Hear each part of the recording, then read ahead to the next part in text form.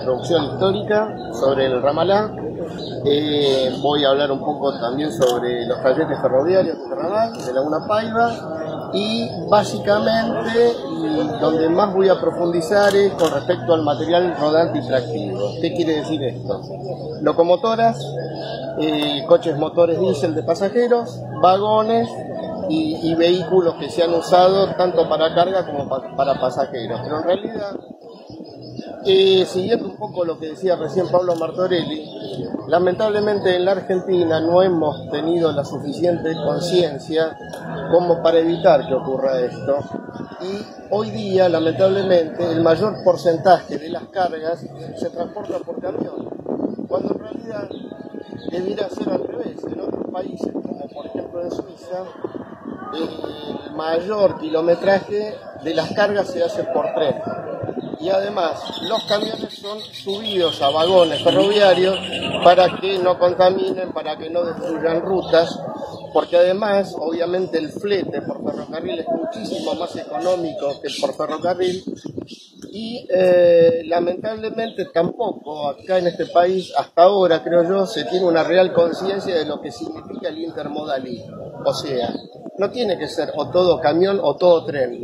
Tiene que existir una combinación de ambos modos de transporte. Por ejemplo, lo mejor lo ideal sería que el camión, como se dice habitualmente en la jerga, haga las públicas. ¿Qué quiere decir eso? Que alcance hasta la ventana. Exactamente, que alcance. De la carril.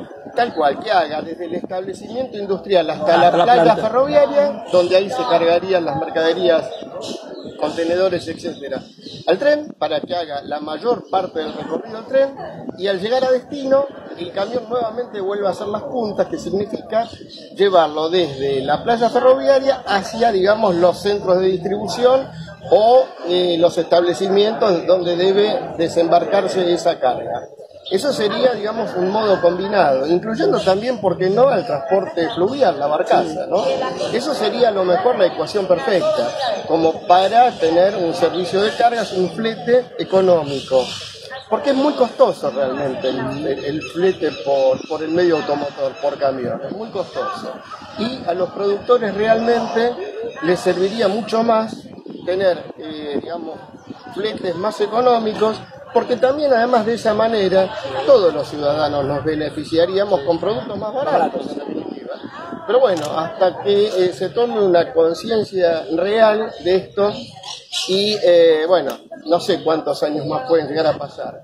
Nosotros que somos especialistas en el modo ferroviario, nos duele, nos duele, y esto no lo digo desde el punto de vista de la melancolía, nada que ver. No, no. Nos duele porque conocemos el potencial que tiene el ferrocarril. Y cuando, por ejemplo, le voy a dar un dato muy concreto.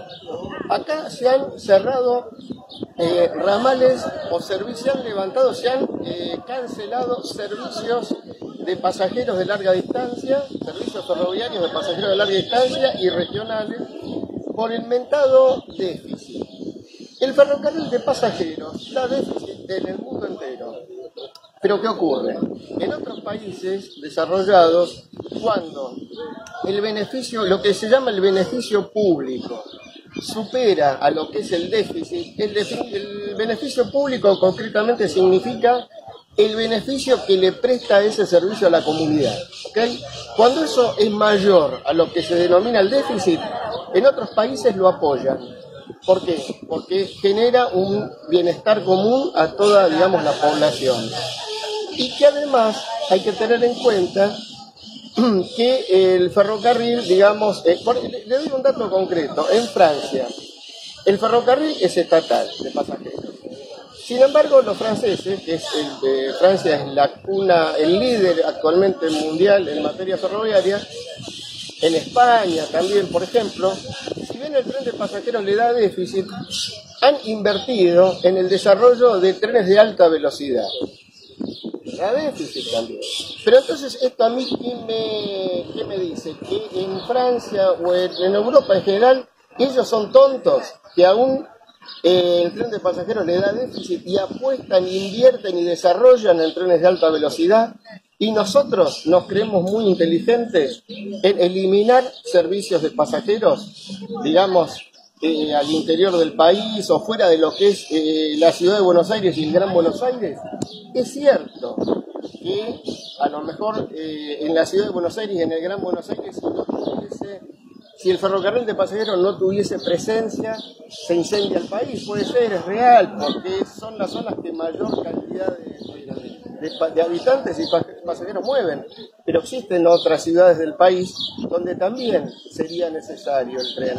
Y si bien actualmente aluden a una cuestión de déficit que no se puede invertir, sin embargo, sin embargo, se están invirtiendo millones en rutas viales, en autopistas, en ampliación y eh, actualización de aeropuertos. O sea que para todo eso existe dinero. Y subsidiando también el transporte. Y subsidian además, y además subsidian todas las empresas aéreas de low cost, porque es muy simple. Son empresas extranjeras que si la ecuación económica no les cierra, se van del país. Entonces, para a nosotros un poco lo que nos molesta que para todo eso existen, existe dinero, pero para invertir en renovar una vía férrea, para tener servicios de pasajeros de larga distancia, nunca hay dinero, o nunca es una prioridad. Lo cual es un error por todo lo que le dijo recién Pablo Martorelli, porque además, existiendo trenes de pasajeros de larga distancia, por ejemplo, se quitan de la ruta vehículos, con lo cual se contamina menos, se deteriora menos el pavimento y obviamente se generan muchos menos accidentes.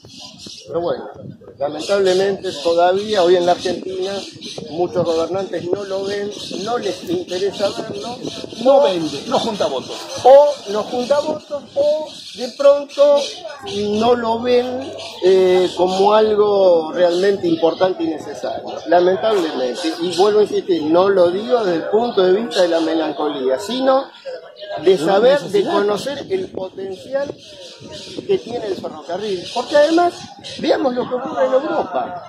Veamos lo que ocurre en Europa, con el ferrocarril. Sí, no solo en Europa. Pero además, en este Países vecinos también. a vos le voy a decir algo que sería el colmo. En otros países es, es el colmo en función de lo que uno ve que ocurre en la Argentina. En Alemania, por ejemplo, y en otras ciudades del mundo, se está trabajando ya en que el transporte público en las grandes ciudades sea gratuito. Por ejemplo, ahí tenemos un caso. Yo no pretendo que esto llegue ya, ahora, en este momento en Argentina. Tal vez no es el momento más adecuado para que esto ocurra. Pero tal vez sería bueno empezar a, ver, a investigar lo que hacen otros países del mundo para tenerlo en cuenta y tal vez empezar a trabajar en eso. Durante, sí, sí, un tema bastante difícil. Creo que estamos, como decía recién con Pablo, la micro. No pensamos, yo creo que lo piensan los políticos. No, no se puede ser no pensarlo esto como ustedes. Pasa que no es negocio, la gente aparentemente creo que no le importa mucho eso porque si venía a hacer una vía, nadie puede decir una A vía, ver, puede ganar una elección a en ver, un pueblo. a ver, eh, son obras a largo plazo. A largo plazo. Claro. Y entonces, como son obras Ahí. a largo plazo, Así estamos en este país. si yo soy gobernante, yo no me aseguro que esa obra la inaugure yo y corte la cinta yo Claro, dentro eso. de mi mandato. Y no quiero dejársela Al otro al otro que viene, a que corte la cinta al otro que viene. Quiero hacerlo yo, para obviamente llevar agua para mi molino, como se dice habitualmente. Lamentablemente se piensa de esa manera en muchos casos. Pero bueno, entonces no existe continuidad. En materia de lo, no, no existe una política de transporte en la Argentina en realidad. Eso es lo que No hay. nosotros vamos procurando.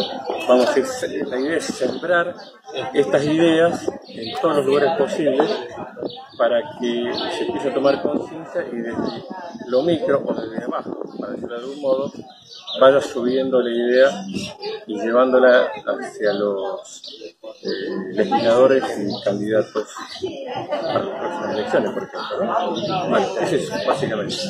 Bueno, muchas gracias a todos. Ojalá, ojalá esto sirva y gracias por estar, gracias por preocuparse No, por al esto, seguramente los de ustedes, pero bueno, es bueno llevarlo. Un de arena. Un granito de arena vamos poniendo.